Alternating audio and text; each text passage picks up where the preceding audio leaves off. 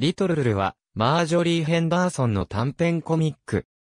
1935年に発表されたコミックであり、サタデー・イブニング・ポストという新聞に長期にわたり、連載され、世界的人気キャラクターとなり1944年に最初のアニメ化された。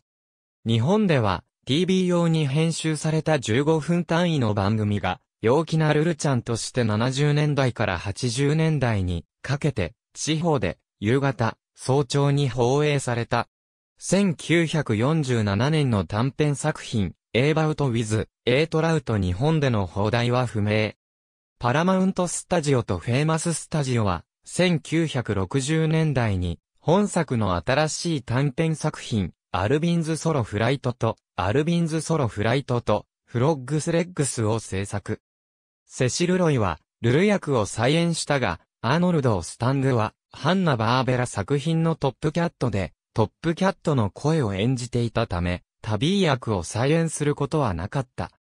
リトル・ルルーショーは、1995年にカナダとアメリカで制作されたアニメであり、日本では1997年に TNT& カートゥーンネットワークで放送された。ありがとうございます。